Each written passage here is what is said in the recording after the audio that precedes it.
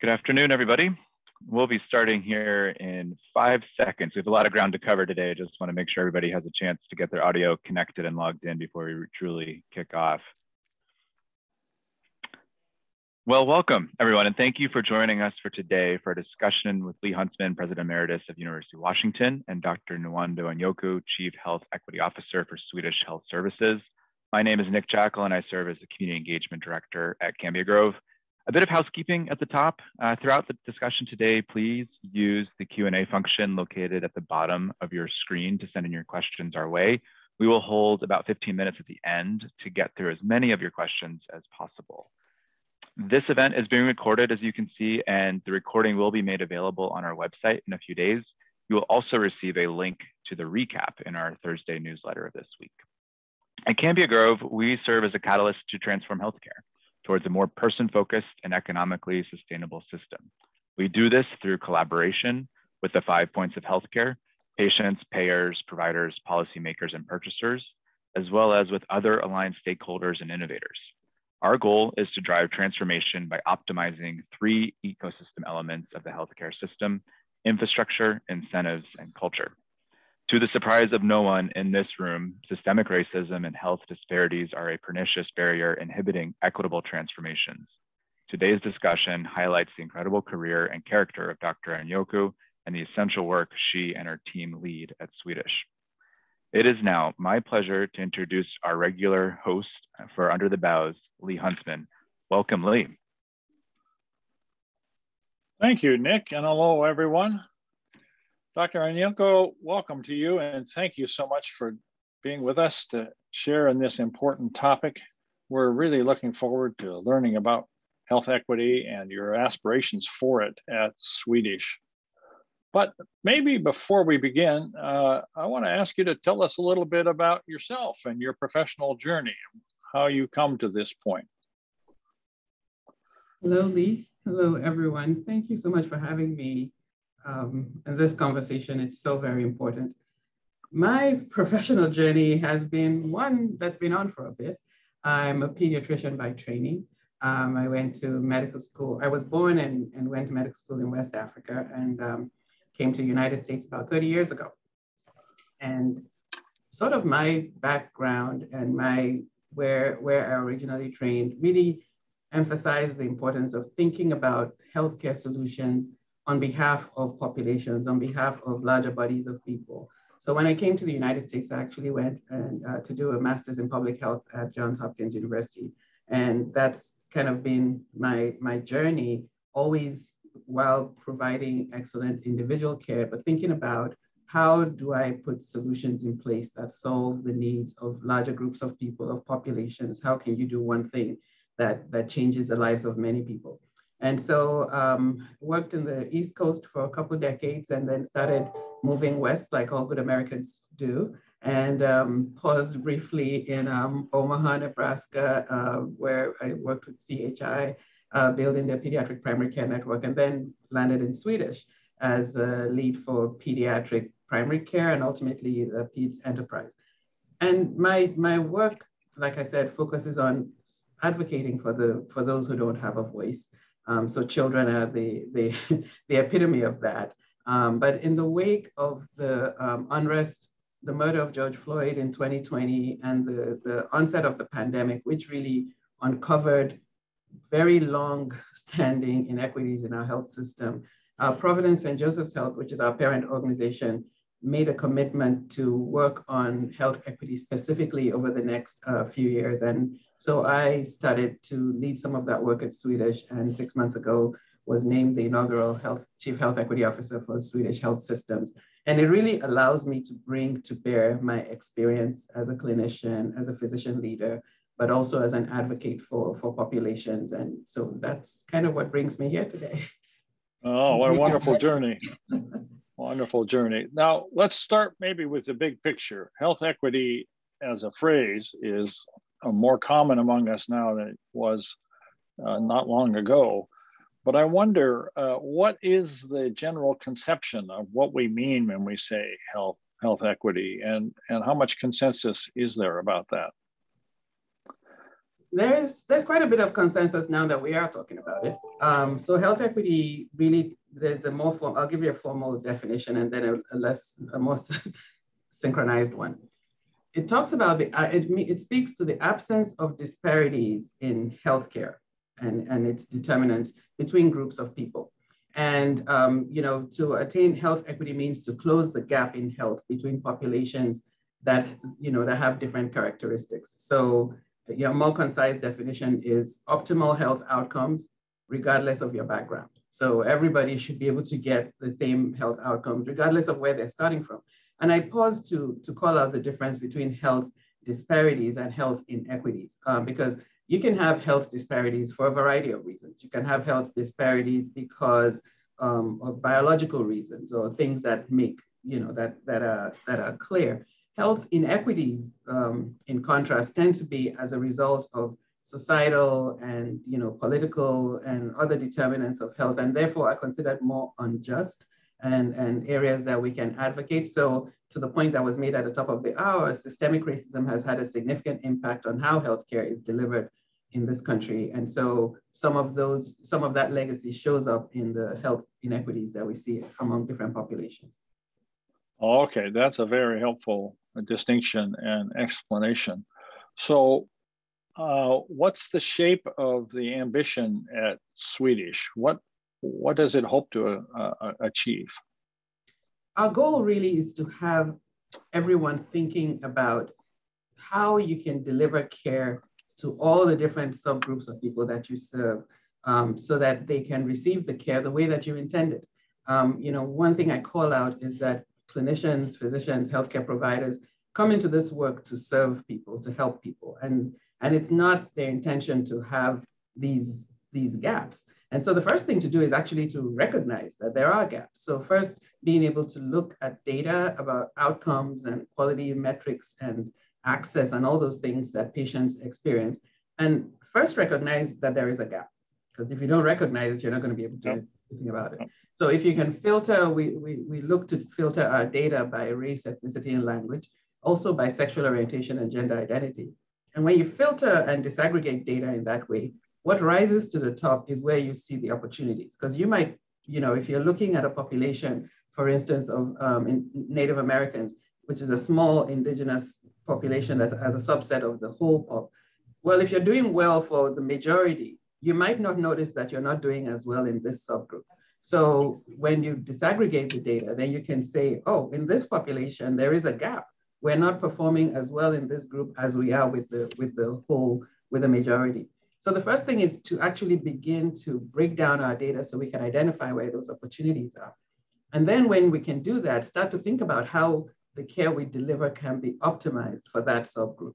And I'll say as a clinician, as a clinician, the first thing you think about is how much time do we have to, to make this difference, right? So can I really address all the social determinants of health in this patient population? But if you're not thinking about it, then no, you can't. But if you if you have it at the back of your mind that you need to bridge the gap, then you start to identify who can be partners for you, who can be partners in the community, what other organizations can come alongside you to help you close the gaps that your patients might be experiencing. How can you change some of the policy that you have in place that may be creating or worsening disparities, you know, because we hadn't actually thought about it. So our goal is really that in every area of care that we deliver at Swedish, that we're thinking about how it's serving different populations, how it's impacting different populations, and ultimately to not declare success in any health outcome until that success is true for every population. Very interesting. So the premise is that simply advancing awareness will lead to recognition of opportunities uh, and, and progress can ensue. Uh, can you give us any examples yet? Absolutely. So, and yes, simply advancing awareness helps. So for example, we're doing work in our primary care space on hypertension control in African American populations. So when we look across our clinics, we found that some of our clinics had a gap in how well hypertension was controlled. And this is a metric that we report um, to uh, third-party payers that's reported as part of our excellence index. But when we filtered it out, we found that, oh, in this subgroup of people, there might be opportunity. And so when we call that out, then you start to look at it and ask, well, what are the drivers of this difference?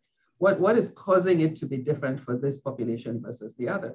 And so we start to identify drivers and start to put things in place to solve it. So one of the things we came up with is that we have a clinical pharmacist that works with us in our clinic. So maybe that clinical pharmacists can dovetail with the physician on, on visits and follow up with the patient to make sure that they have their refills, to make sure that they have, they have their follow-up appointment scheduled. That's a tiny example. I will mm-hmm. call out a big example, which, you know, we've been talking about COVID-19, uh, uh, you know, living through this hopefully once in a lifetime um, pandemic. Uh, and a year ago, we didn't know this was just incoming, right? It, it's hitting us in so many ways. And we had to change healthcare quickly, rapidly, do things that uh, in ways that we hadn't done it before. Telehealth escalated. Um, we were able to have some people stay home, some people had to go to work. And we're responding in real time to the challenge that we're facing. And as a pediatrician, I'll speak from, uh, from my professional vantage point. We're thinking, okay, the, everybody's talking about the grown-ups. What about the babies, right? How are we addressing the care of babies in this uh, pandemic? Okay, what we can do for them is make sure that we have a safe space for them to come to, that we can keep their vaccine schedule, you know, on track, and so that we don't have them breaking out in mumps and, and diphtheria and other things that we've already controlled. So we're doing that. But a year out, we look back and we see it turns out that there are these population of children who, for whom their vaccines were not kept as up to date as others. And those tend to be the children of uh, minority populations, right? And why? Because those populations were more disproportionately affected by COVID. Those were populations that had often more disproportionately had people that had to go out to work and therefore were more exposed and therefore were more challenged by the pandemic. And that starts to trickle down and you now see it in the children. So now when we look at that data, we're like, you know, with that, even with our best intentions, there is this population that we did not, we're not able to optimize care for. So how do we then, having identified this, begin to develop new strategies to address that? That's what data allows us to do and having this mindset of equity in the way that we deliver care because we're asking going back, we're asking going forward, we're asking in real time what this decision might mean for one population versus another. Okay, now this connects to a question about given this charge you have in this position as the inaugural health equity officer, I wonder what tools you have available to you to actually move Swedish in these directions. And I hear you articulating, uh, well, advancing awareness helps you, uh, and the existence of data helps you. Um, what other uh, tools do you have in your kit? What, what to help advance this agenda across a very complex institution? Well, I would say that the biggest other tool that I have is an army of professionals across the organization who are committed to this goal. And ah. so my, my goal, my charge is to communicate, share opportunities, and I have people who will pick it up, right? So I talk to different service lines and I say, well, in this area that you're serving, is it in the women's clinic or is it in the cancer center? What are the opportunities that we have to, to identify inequities and bridge the gap? And you know, when I ask the question, a team steps up that says, you know, let's look, let's look at our data, let's look at what our patients are saying are issues, what are the things that we've known over time are concerns, and we identify initiatives in each area. And, and so I would say that my biggest tool is a lot of the, the very robust communication channel and sharing with everyone in the organization what our goals are getting people engaged, getting champions in each um, service area to focus on this work and, and, and bringing it together so people see what we're doing and continue to buy into the vision.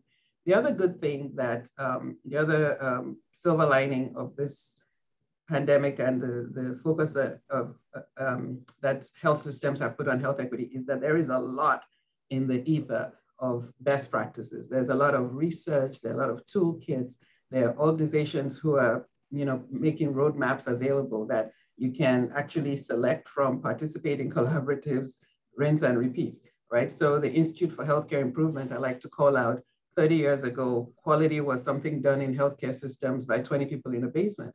But with the um, Institute for Healthcare Improvement and bodies like that, bringing together experts across the country, we now have best practices that pretty much every organization follows. And the health equity work, um, I believe, thankfully, is following a similar path where we're getting um, amalgamation of best practices from experts across the country that you can then take into your particular area and, and apply as, as applicable in your space. So we have toolkits, we have expertise that we share, and we have expertise that we bring in um, to do this work across Swedish. You know, that's enormously encouraging example because when I think about what you and your army of collaborators are trying to do uh, with great enthusiasm and skill, I, I picture it in the context of the harsh realities of healthcare, uh, you know, the enormous, almost glacial inertia in healthcare, the often conflicting priorities of the various uh, constituencies, the patients, the providers, the payers. Um, there are a lot of constraints, and yet uh, the, the quality example suggests that movement change is actually possible.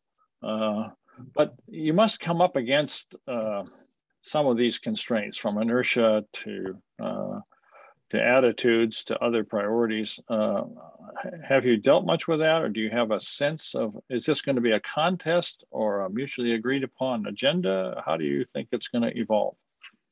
Well, it turns out that in healthcare, all of those exist simultaneously. It's a contest and it's a mutually agreed upon. so, good point. Very good point. Yes. Everybody says we have to do it, and well, how do we make it happen?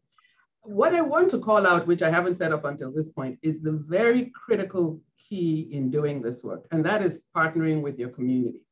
Um, I, I think I mentioned it in passing, but it is really important that you partner with the, the communities that you're trying to serve and tap into the wisdom of that of those communities. One of the things that you you you'll hear said is nothing for us without us. Because when we identify these gaps and disparities and, and in, in healthcare in a particular community, it is critical that you have a conversation with that community to see what, what would they need? How can they help you close that gap? You cannot come in and declare that thou shalt because that you, you don't necessarily know what their, what their limitations or their challenges may be, but they do, and they'll give you the best ideas. So if we're looking to um, address a challenge in the, um, in the Latina population, Latinx population, you wanna get with people who know that population, who are thought leaders and, and drive um, goals and, and, and, and behavior in that group because they can tell you what, what is particular to that group that you need to think about as you're doing that work. So we, we think about that as we go across the body of work that we do. And what that does is allows you to potentially bring a win-win. So if I were to ask every clinician to, to solve for each problem, they might not be able to, you know, they surely don't have the time. But if they know that if you're facing a patient with uh, food insecurity, I know there's a food bank in this place, and I know there's this organization that I can do a warm handoff to who help my patients meet that need. I can meet their need through those partnerships, if you, if you understand what I mean. So partnerships are critical in understanding how we do this work and how we close those gaps because the disparities, like or the inequities, like I, I pointed out, are not due to biological differences between the groups. They are often due to social determinants, and you need partnerships right, right. to close to close those gaps. And those partnerships help you because then you don't have to buy everything. You don't have to solve for everything yourself. And that helps to bridge some of the gap. The other thing though, is that there are some areas where, um, you know, there's by definition, uh, you know, there's systemic racism and structural challenges that have been built into the system. So one of big one that happened over the summer is that for years, the calculation for assessing kidney function had race as a factor in it. Mm-hmm. And because it had race as a factor in it, what, what the end result of it was that Black patients, African American patients, ended up diagnosed later with worse outcomes, right?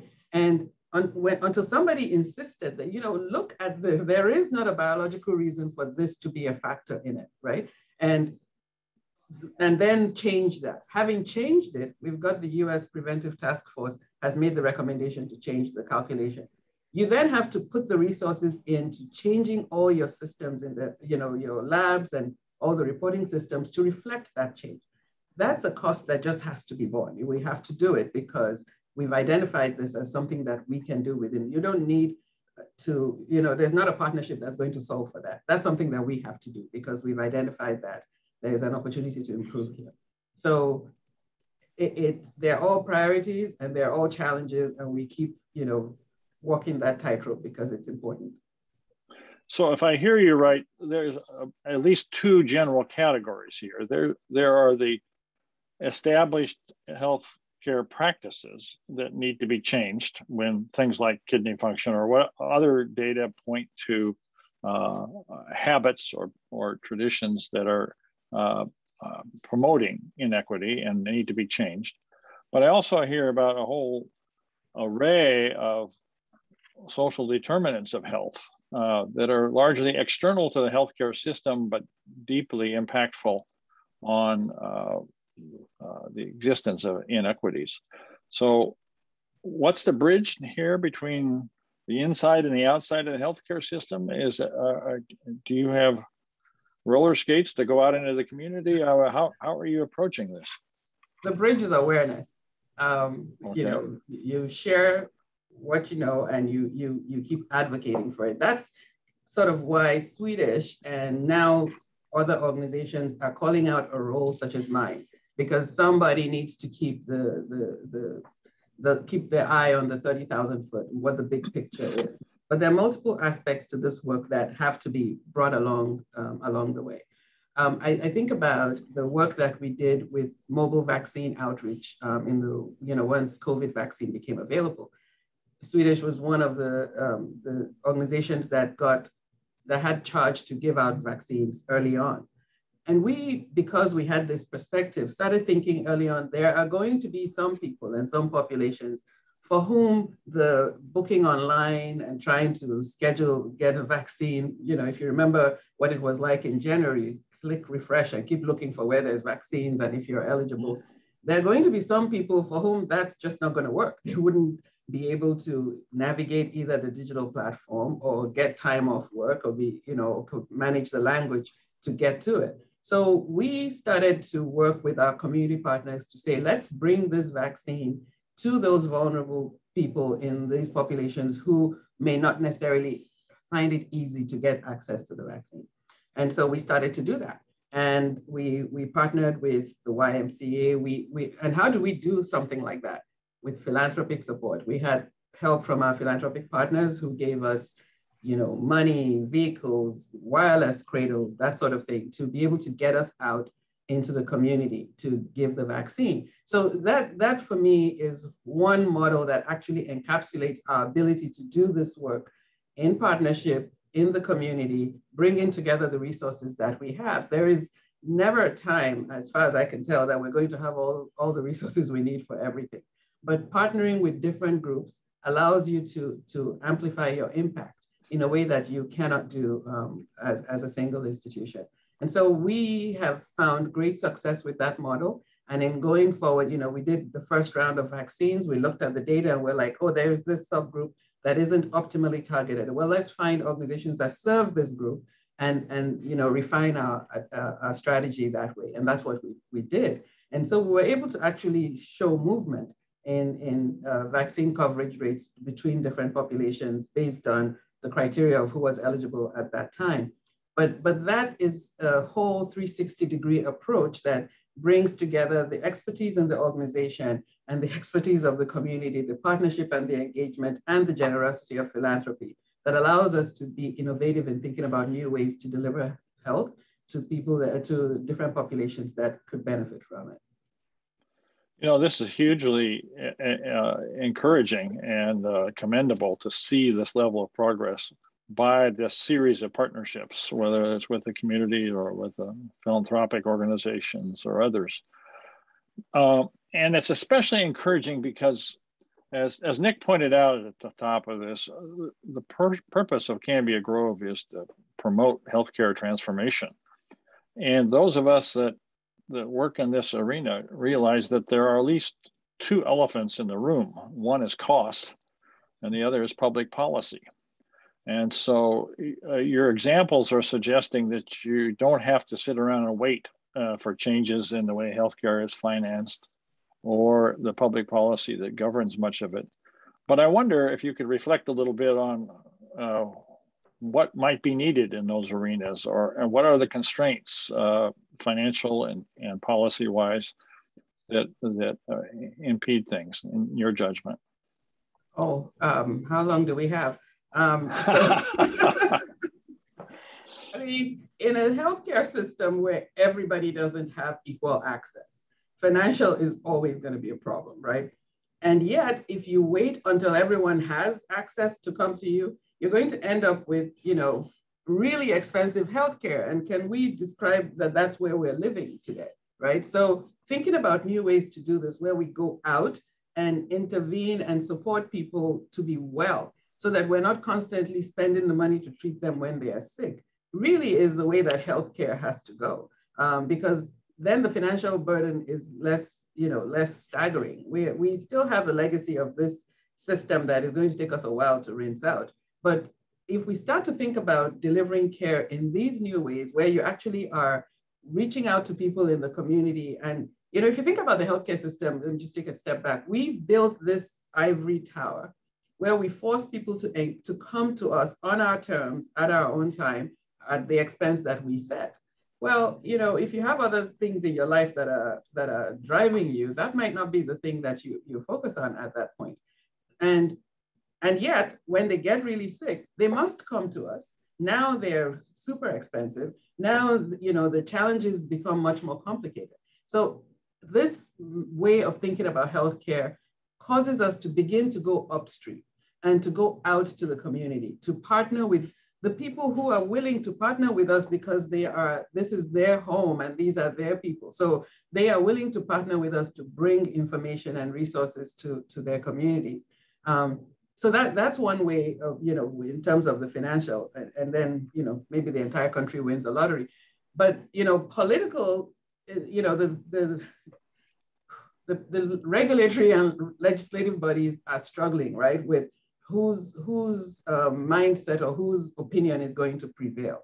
And the ability to model something and show, you know what, this is a way that we can do this at this cost is very helpful to our political leaders to be able to show them a model that has worked. So when we were able to do the mobile vaccine and, and show that this is a way to bring um, care to people at lower cost with more impact, you could show that model to your legislative leaders and that helps them, you know, to make the arguments that they need to make to, to address the political determinants of, of people's health. So advocacy is a big part of, of getting this work done. And so we're constantly um, doing the back and forth. You're advocating and then you're modeling and using the models and the results to, to advance your advocacy. So yeah, that's the really, really short version of how do we solve for these two gigantic um, elephants in the room. Right, they are. So, you know, it, in the beginning, you uh, spoke about the uh, impact of data in helping identify opportunity. Uh, and now you and your partners are out actively making progress on various fronts in the equity sphere. Uh, are you able to collect data? Because it, your comments just now make me think that there may be the opportunity to confront policymakers, uh, funders, and so forth with data about uh, greater health equity actually is economically sensible uh, in many ways. Uh, and policy um, follows can follow practice to some extent rather than lead it. And so, uh, do you have a, a plan to collect data along these lines? Absolutely, um, because that is that is you know when you're doing any body of work, you're constantly thinking about sustainability, and you establish sustainability by proving the value proposition of what you've put forward, right? So mm-hmm. as we're mm-hmm. doing this work, we've had to build some of these data systems to show that this is what it was like, this is what we did, and this is the return on that investment, right? Because you, you need to be able to tell the whole story so that the policymaker doesn't have to create the, the narrative in their head. And so as we're doing this work, we are actually very intentional about having the data guide us and having the data, the data um, report the impact that we're having so that we can tell the story, so that this, this approach to healthcare can be propagated and be sustainable. So yes, in fact, that is that is a key aspect of what we're thinking about. So you mentioned the power of partnerships, uh, uh, not only with your office, within others, with others within Swedish, uh, partners with uh, external communities, uh, with uh, philanthropists and so forth. What about, is there the potential for partnerships between health systems? Because this should be a shared agenda that should transcend the, the competition between health systems. Everybody benefits if we can raise the community level of equity. Indeed. And, and you know, I know we're better than here, right? Because we're all motivated to, to solve the problem for our community. And absolutely, health systems can and regularly and now are sharing, finding ways to share expertise. Like I said, there are a lot of collaboratives now on the national as well as the local area um, level. I think Washington State Hospitals Association has brought a bunch of health systems together to share best practices in this um, in this right. area. Yep. So we can we certainly can do that so that each of us is not reinventing the wheel in our own silo while trying to serve the exact same population. You know, where most of our Swedish hospitals live, a few footsteps away is Virginia Mason, and right on the other side is, you know, we're all serving the same population. So it makes sense that we collaborate in doing that work. I will also call out a potential partnership in the land of Amazon and Microsoft of digital health, right? So digital solutions are being birthed every day in this space that could potentially allow us to scale our impact. So how do we connect with these large, really creative um, organizations who are thinking about this, right? And, and, and work with them so that they can bring to bear resources that we can deploy in service of the same population where we all live and work and you know prove it and bring it you know as a service to the to the whole nation to the whole world. They've done so much phenomenal work already and i think it would be great to harness that intelligence and that opportunity in this space particularly um, that we that we can bring um, that, those partnerships to bear um, in service of health equity you know, it's a good reminder about the Hospital Association. They really do have a track record of identifying opportunities for, for uh, best practices and moving them forward. So I'm delighted to think that they might be involved. Another organization that might be helpful related to the big tech and other companies is Challenge Seattle. I don't know if you know that group, but they're uh, headed by former Governor Chris Gregoire. And if we could have those business leaders articulate health equity as one of the priorities for improving our region uh, that would maybe uh, advance that awareness that you were talking about uh, outside of healthcare organizations, uh, but more broadly and be very effective. So mm-hmm. um, this is very encouraging. Um, so let's uh, not miss the opportunity if, for our audience to hear from you any recommendations uh, on your part about how they should think, what they should consider? Do you have suggestions about those uh, other practitioners or other people in the healthcare sector? Um, uh, what do you recommend that if we care about this, uh, how can we move beyond observer status? It's a great question. And, you know, the goal is to bridge the gap. And I, I describe it as the gap between the intention of the healthcare system and the ability of the, of the patient. What is, what makes up that gap? Is it made, is the person unable to take the best advantage of the care that you intend to provide because they can't get to you, because they can't make an appointment, because they can't get transportation? What are, what are the factors that are playing in this space? Um, is it a language barrier? Uh, is it a lack of cultural sensitivity or cultural humility in, in the way that we deliver care? And if you are going into healthcare thinking about centering the patient, because centering the patient and the community is really what health equity is about. Centering the person that you're trying to serve and understanding what it is that service to that person and that community needs. Oftentimes people will say, well, you know, I'm not creating a problem. I treat everyone the same. And my response is everyone does not need to be treated the same. Everybody has different oh. needs. And so you need to understand what does this particular person need? Is she a mom with three little children who can't make the appointment on time because she had to pick up the others from daycare before she got to you, and she arrives 10 minutes late, and you turn her away because she was late? And this happens two more times. How many times do you think she's going to do that again, right? But if you if you think about the patient and you think about what their needs are, then you can navigate the care that you deliver so that you, you make impact in a way that, that makes a difference in that particular patient's um, life. And if you think about a community who may not be able to take time off work when they're sick, right? And who may not be able to get to, to you and they can't refill their prescriptions. Is there a way that you can make it easier for them? And who can you partner with in order to do that? Um, because you can't own all of it. It's, it's a whole web that, that we have to create. But if you're thinking about it, then you can foster partnerships. You can build what we used to call a medical village um, of partners across your area who bring to bear some of the resources that the patients um, might, might benefit from. But if you're not thinking about it, then you, you get salty because she came late and you're upset because she's messed up your schedule and you turn her away and then you fire her from your practice and who have you served, right? So if you take a step back and center the patient. That's, that's really my message to everyone. Center the patient, center that community.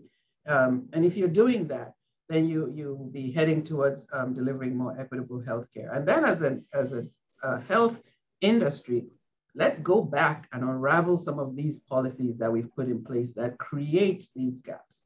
You know, let's look at things like um, renal function, uh, EGFR rates. Let's look at vaginal birth after cesarean section calculus. There's a whole bunch of calculations that have race as a part of it. Can we look at all of those and unravel them so that we, you know, we're bringing everyone else, everyone to a more level playing field? There's a historical construct that we have to go back and take apart, but there's also the real-time needs of the populations that we have to serve. And we have to be thinking about all those things. And the solution is to center the patient. Center the patient, we can get it right. Fascinating, fascinating indeed. And I, it, your mind races off to all the different partnerships that might be possible, even within the healthcare se uh, sector. We've seen a rising influence of pharmacists, for example, and uh, they, they can very much be part of this kind of thinking and, and in partner with other health providers. Super encouraging. Well, we salute you for undertaking this this is an ambitious agenda that you have, and uh, it's really fun to hear your thinking. And, uh, and we uh, salute Swedish for taking this initiative. So I think it's time to turn to our audience and see what questions they have for you. Nick, have you been able to accumulate some?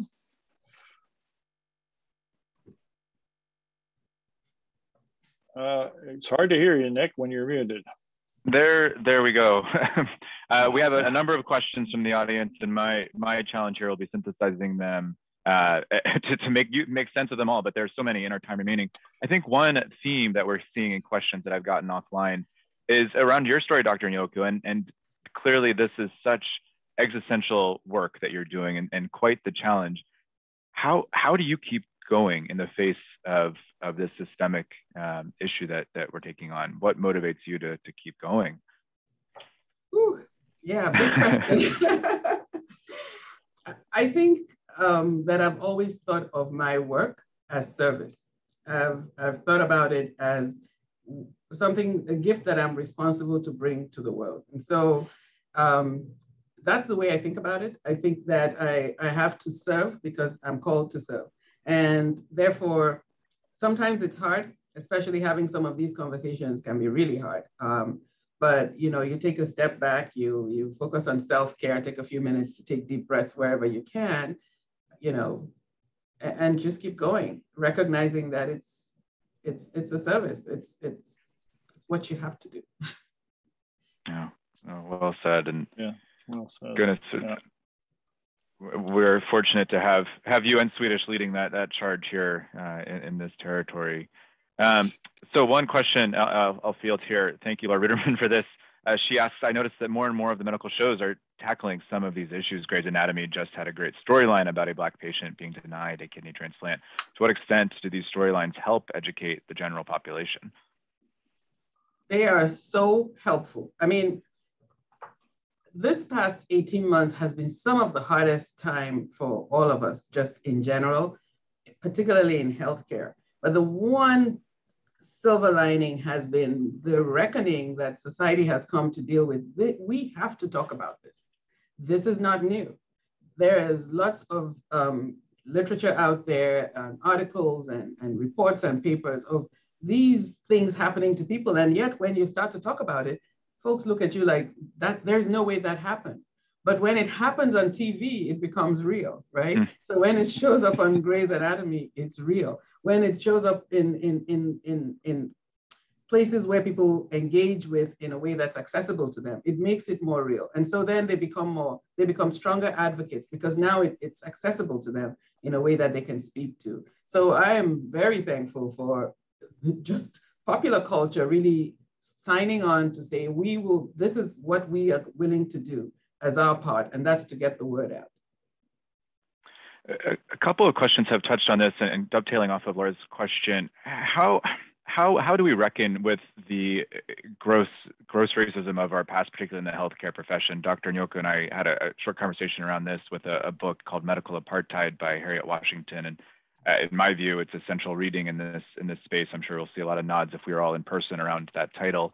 Um, but in order to know, Dr. Anyaoku, where we're going, how do we reconcile the past? Is popular culture uh, a vehicle with which we can do that, or how would you uh, wrestle with with that tension?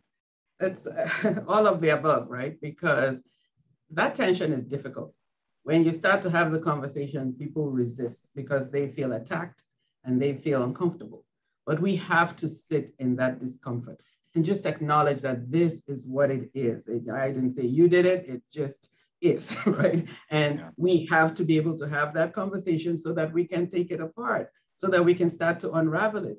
If we try to paint it over like we've done, eh, all it does is perpetuate the problem. So, uh, you know, I I make no bones about the fact that these discussions are difficult because people who are trying to do the best they can coming up against a system in which this stuff has been baked into the pie, you then find that you've been perpetrating the, the disparities and that was not your intent. So that's that's uncomfortable and that that takes some reckoning for you as an individual or as a healthcare system. But that's what we have to do.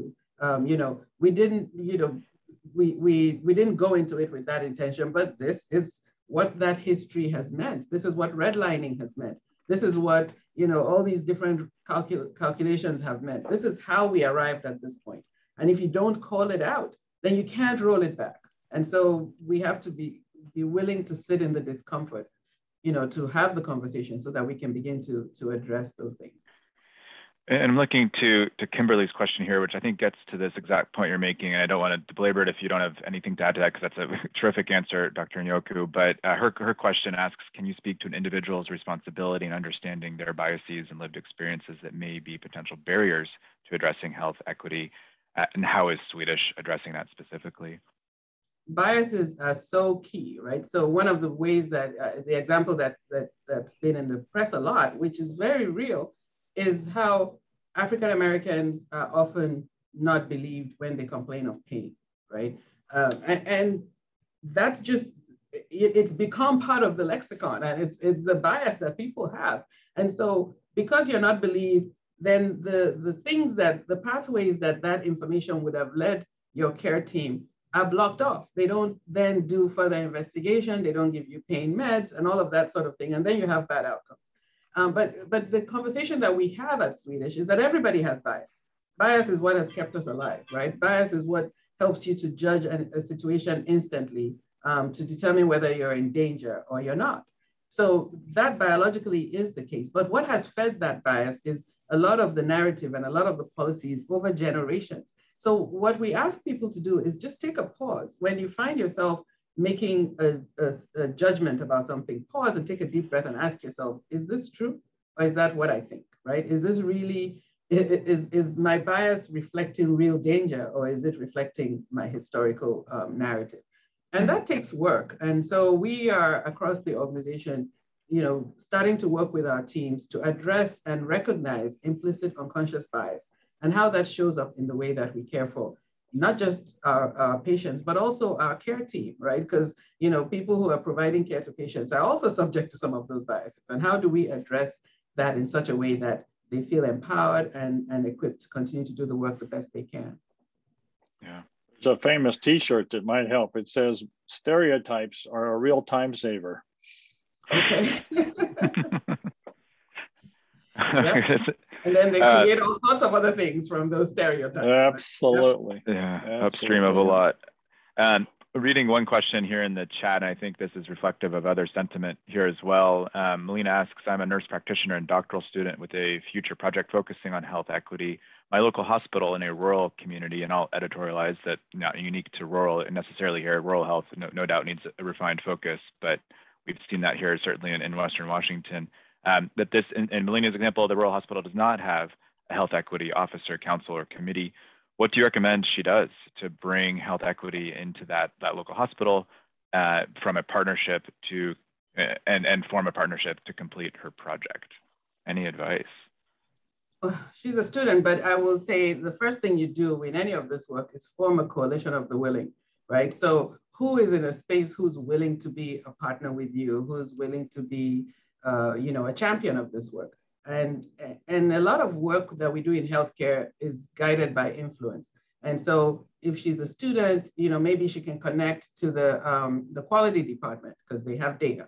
Data is always your, your best tool, right? And you're like, you know, can we look at this and can we just filter it and see if we can have, if we can see opportunities here? Um, because people always resist until you show them the picture. So there, there are partnerships that you might want to form and, and start to have those discussions and start to illuminate the concern for people. Because when they see it and when it then it becomes real to them. Um, but prior to that, it's an abstract concept that people are talking about. And if you're in a rural or maybe critical access hospital and you're thinking of all kinds of other priorities, that might not be your first. But there is data, and even if you don't have it in the hospital, the the um, public health in the county is very helpful at gathering data like that. And you can get information that can illuminate, even if it's just your geographic area, even if not the particular hospital. But between that sort of source of data and the quality team in the hospital, you can generally find some advocates who will come alongside you and, and help you to advance your cause.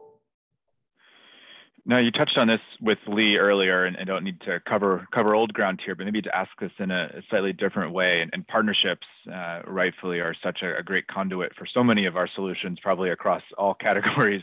Um, but thinking as well, and, and drilling down more specifically, perhaps around value-based care and how that those incentives might be better aligned to to not only include uh, seemingly disparate partners um, in, in collaborations, but also include them in the financial model as well.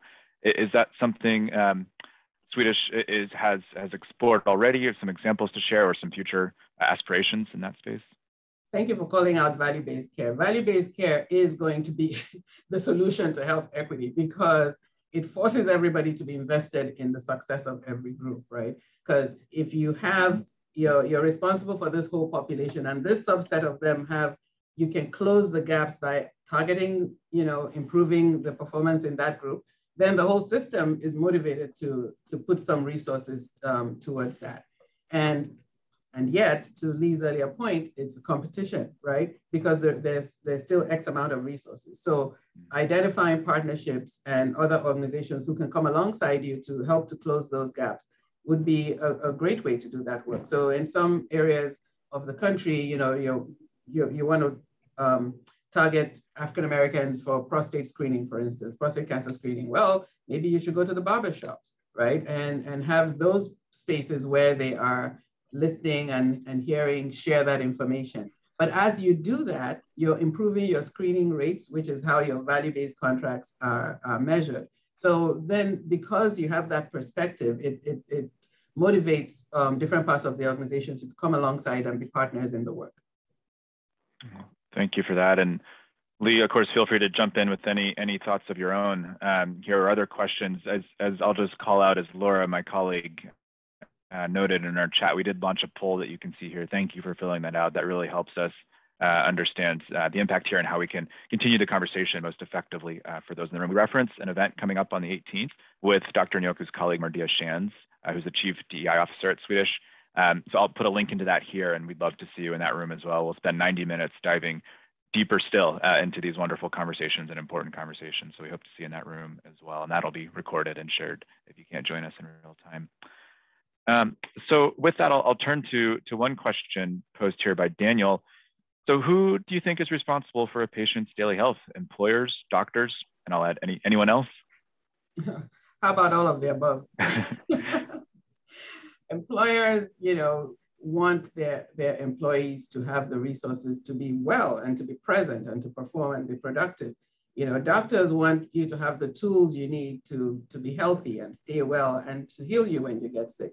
You want to be healthy and be able to engage with your family and have strength and be and, and, and be active and do the things you need to do. Society has a responsibility to also support you so that you, you don't have to slay every dragon yourself. So you have a way to feed your family and support and feel safe and secure, right? And so we are all invested in this thing together. And there's the one thing, one of the things that we learned is that everybody's outcome impacts everybody else. You know, we may have erroneously thought that we could live in a gilded tower, and because I can afford to be healthy and safe, then it doesn't matter what anybody else can. Turns out that's not true because we are all invested in having a healthy, strong society. And so being equitable in the way we deliver quality care and, and the way that we support communities to be healthy, it serves us all. So I think it's everybody's um, responsibility to work together towards, you know, more equitable health society. Yeah, I, am fond of a quote of the late Senator Paul Wellstone who said, "We all do well when we all do well," uh, and I think it just speaks to that sort of collective impact that uh, we all need to to recognize that inner interconnectedness of, of everything, especially especially in these these times. Um, goodness, well, turning to to another great question from the audience, and this is is thematic, and I, I, I, at the risk of, of asking a similar question for a similar answer, Dr. Anyaoku, I, I will because I think it just underscores kind of that that crucial point where we are uh, as a healthcare system and probably as a society. Uh, but the question reads, how can one attempt to mindfully integrate DEI principles into performance management and goal setting for development in an organization as sprawling as Swedish? How can I encourage colleagues and managers from staff to clinicians to administrators to be more competent leaders in this space? So DEI work is a key ingredient in achieving health equity. And so in a healthcare system, having you know diversity, equity, and inclusion as part of your lens allows you to be intentional about creating an inclusive work environment where people can bring their whole selves to work. We know that data says that patients who are served by you know con concurrent providers, right, do better. So if you have a diverse patient population, you do better by having a diverse provider and, and caregiver population.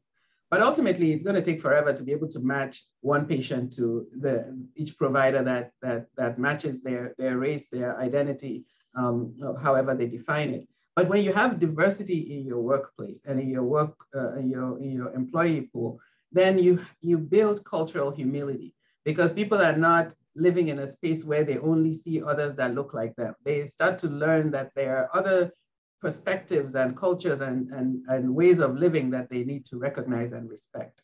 And when they're able to do that, then that respect and that humility translates into the care that they're providing for their patients because they become more sensitive to how different groups might receive care or might need to receive care. Um, so beginning to have that conversation across any organization ultimately serves you, right? Because if you don't have that focus, sometimes people will say, oh, I'm going to hire a diverse uh, provider, of a diverse physician.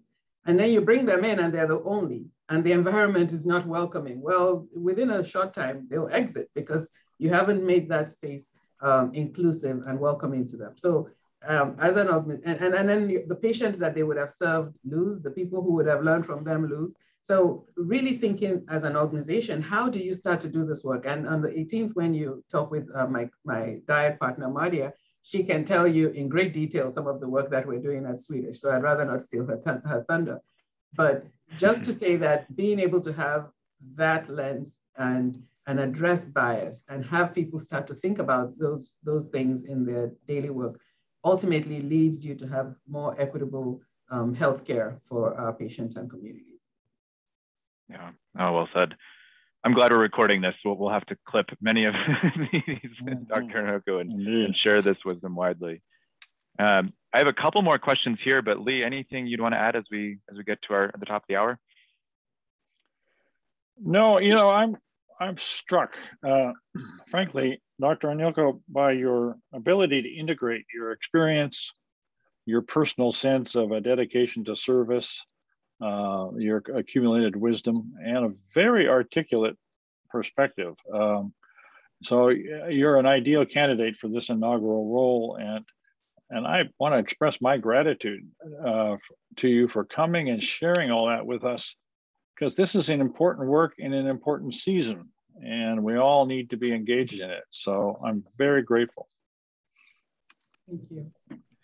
Well, then I'll ask uh, uh, just kind of a, a, for last remarks here, then, Dr. Dr. Anyaoku, and I'll I'll tee you up with this, and please uh, take this any direction you'd like. Lee touched on this the, earlier in the hour, but we have a room here of 85 innovators from across the spectrum of healthcare. What would you challenge them with as they leave this conversation today to think about in the near term, and what longer term ambition uh, would you want them to take their talents and focus them on? I would like every single person to pay attention to the fact that all healthcare is not received in the same way. Everyone, all different populations don't experience healthcare the same way, regardless of our intentions. And so it is important that we are intentional about assessing the way that our efforts are being received in, uh, or how they're impacting different groups. And that effort could be from what the environment looks like. Do we have art that reflects the different populations that we serve, right? In every aspect of healthcare, you can make an impact, but you need to just take your little slice of the pie and ask yourself, how is the work I'm doing impacting different populations, you know, today? How is the work I'm thinking about doing potentially going to impact different populations? And how is what I've done in the past, how has that already impacted different populations? And when you start to look at that from whatever perspective you come at it from. If you're if you're IT or your um, what do you call them electronic medical record people, how how is that documented? How do you capture race? How do people have the opportunity to share with you their sexual orientation or gender identity? Does that show up? And how can I change that? If you're nutrition services, do we have a range of foods that that makes people recognize that you you see them? The one thing human beings want in this world is to be seen and to be appreciated and understood. So how in your slice of healthcare are you seeing your patients and, and having your work impact them? When you start to think about it that way, then each one of us can bring uh, what we can from our own slice of healthcare delivery and ultimately build a more equitable, high quality health system in service of our patients and communities. Goodness, well, can't add or detract to that, that closing statement there, Dr. Anyaoku. Um, so I won't endeavor to do so. Lee, any any final words as we as we wrap up? I would I would just uh, call on all of us to hear that last summary that Dr. Anyaoku just gave. That's what I would call actionable wisdom. Uh, that's a very wise perspective, but it's also something we can pursue individually in our own spheres. So, thank you for the encouragement uh, that you bring to all of us. Thank you for having me. This was a lot Truly. of fun. Our pleasure, Dr. Anyaoku, and we'll look forward to continuing the conversation in many forms for, for many months to come. Uh, thank you for, for taking us to this, this place here and, and these directives that we can carry forward. Really appreciate having you in this community and having you in Western Washington for those that live in this area. What a pleasure. All right. Well, thank you, everyone. Enjoy the rest of your day. All right. Bye now.